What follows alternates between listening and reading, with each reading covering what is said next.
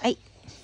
松尾さんこんにちは。今日はね観音寺の69番札所までやってまいりました。観音寺の69番札所観音寺にあるだけあってねお寺の名前も観音寺でございます。ここねあのご本尊はですね小完全音菩薩というですねあの菩薩となっておりましてね増田さんもねいつか拝んでみてください。この小完全音菩薩なんですけどなんとね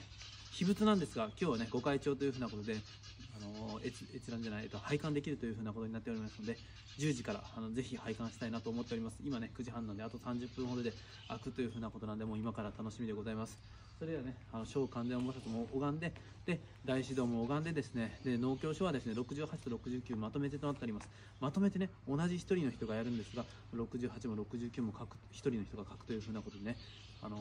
料金の方も確認しましたね。300円を2回ということなことで同じところなんですが600円というふうなことになっていることを確認できました。もしね今後ねあの1つのお寺がこう2つに分かれるみたいなことがあったらね88箇所巡るときにそれぞれでねあのかける2倍かかるのかななんかちょっとそんなことも頭をよぎりました。以上です。